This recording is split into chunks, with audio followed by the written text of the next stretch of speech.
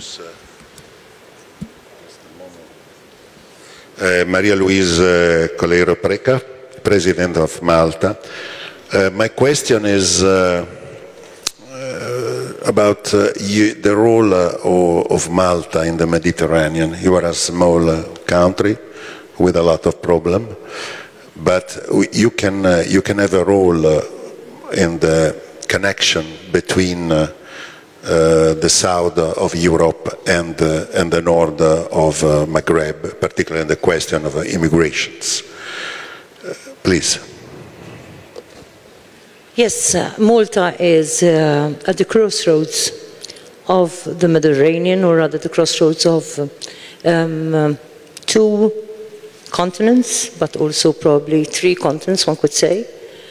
And being in the European Union gives us this knowledge of Europe, but also being in the Mediterranean, and very near to um, Africa, North Africa, gives us this deep knowledge of Africa as well.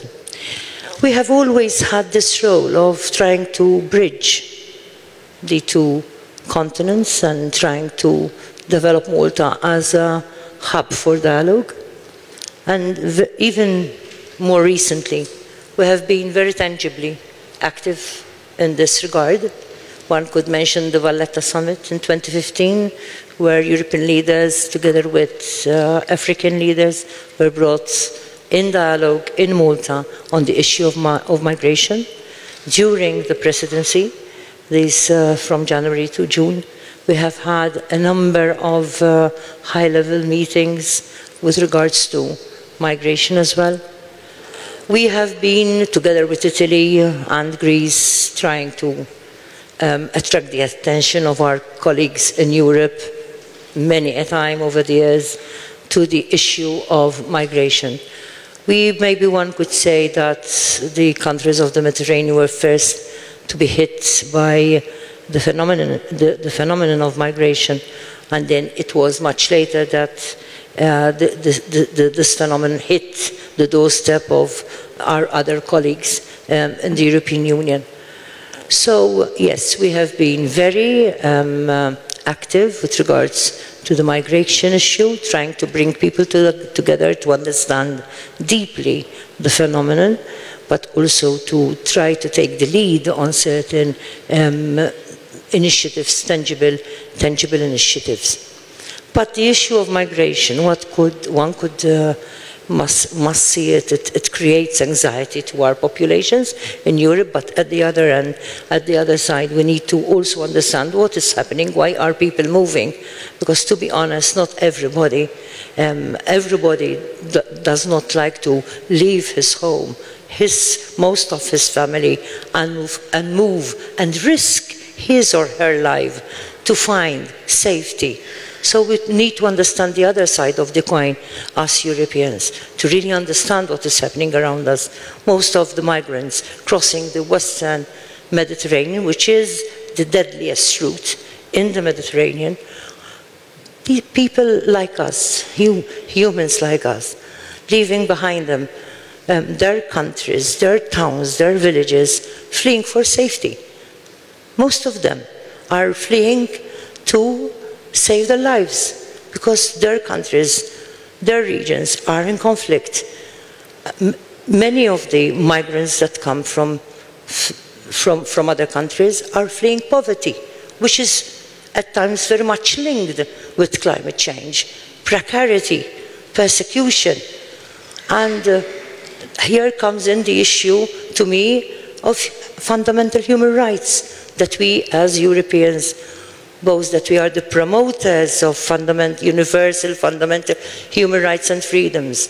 And at times, I'm a bit, I'm a very direct person, so um, I, I, I, prefer to, to uh, say things, look things at the face. At times, I get the idea that some of us in Europe are thinking that our legacy of uh, um, universal fundamental human rights and freedoms, we can look at it like an, an a la carte menu. You pick and choose. For me, it's okay. I have the whole of them.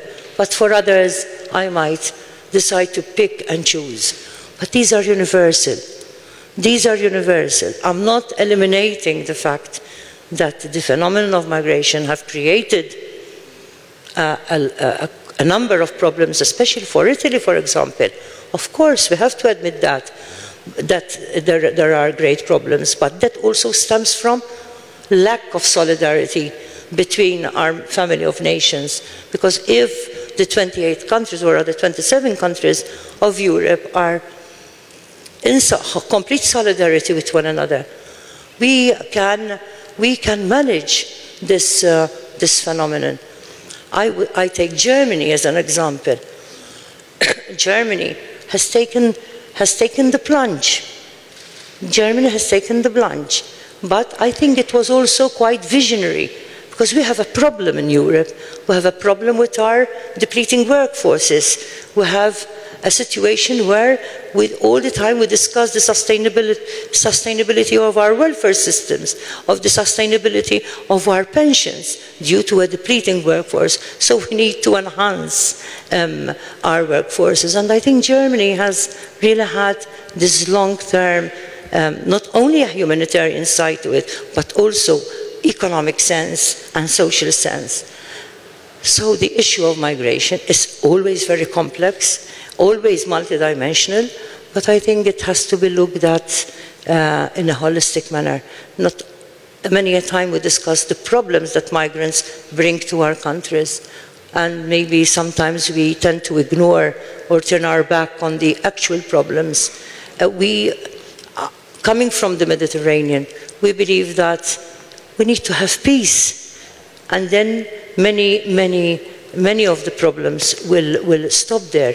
But again, peace has, is, is, is a big word, but and we need to implement peace. We need to work through a bottom-up approach, I believe. And there is where, where women, I believe, they should, should come in the equation.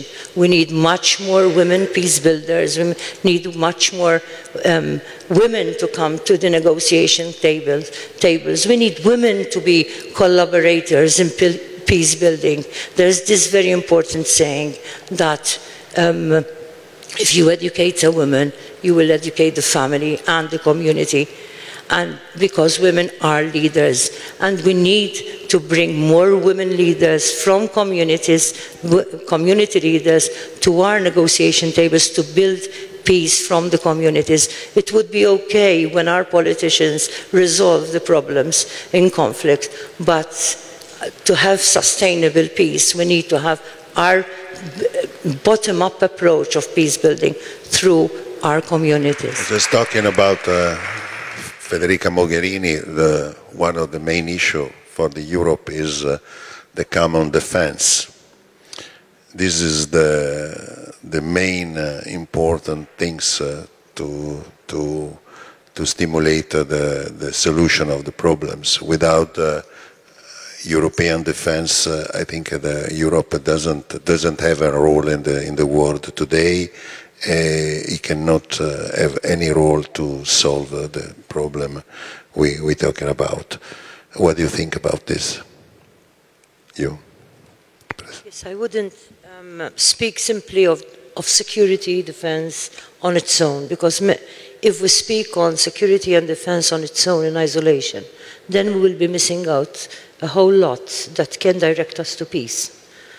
We've been speaking of migration and the many aspects. There are much more, more aspects, definitely, um, that need, need to be covered, and I agree completely with the President um, of the Republic of Estonia that um, migration should be um, an ongoing process as a, a, process of dialogue between all European countries, but also the countries involved. I do believe that when we share with the, the people who are really having the experience and we are we can become much wiser about how we have to go to go forward and and let me take a very particular um, example with regards to um, the issue of security and isolation.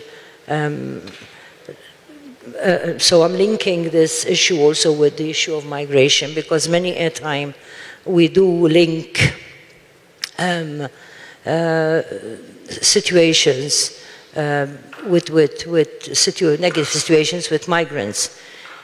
Um, in 2015 alone, in 2015 alone, like 10,000 migrant and asylum seeking children disappeared from our soils in Europe.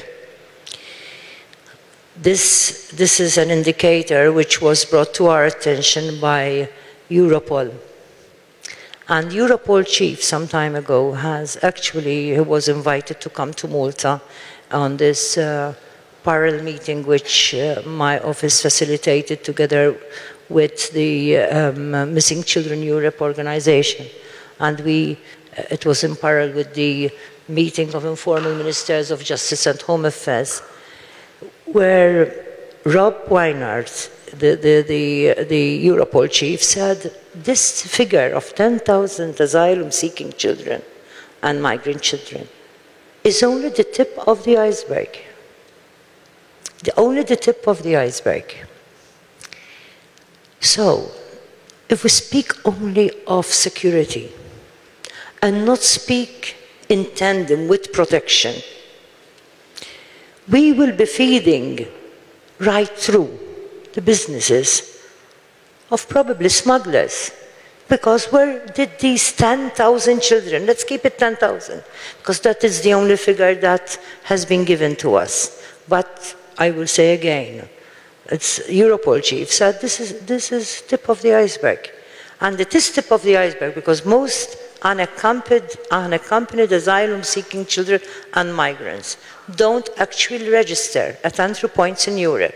So this is the reason that there is no, no sort of uh, trail of, what, of, of the actual amount. These children need protection, not security at that point in time. And we, as the President has said, this is a humanitarian tragedy. I'm sure that there are many of us who are parents who would want to see his or her children leave home simply either to save his or her life from conflict or else to have a better life. Let me share a very personal experience of mine with you. So I have an only daughter, and she has read for her postgraduate degree in England, and now she'll be, she'll be leaving again for her doctorate degree. I cannot express myself what I feel that it will take me some months not to see her physically because I can see her through Skype, I can speak to her all the time. But my heart, I'm so, I, I can't explain my emotions. So imagine if you have to leave your daughter, so she's going to better her life. So I have that to fall upon. That's my comfort, that she will be a better person after her doctorate. Imagine seeing your children fleeing conflict or else orphaned, running all over the place, trying to come to Europe because Europe would seem an El Dorado for, for these children. And then have no protection because we might be thinking of security as our priority. So the issue of security without the issue of protection is not, does, will never lead us to have sustainable peace in, in no place. And also in part because peace is not simply the absence of war, the absence of snipers, the absence of whatever.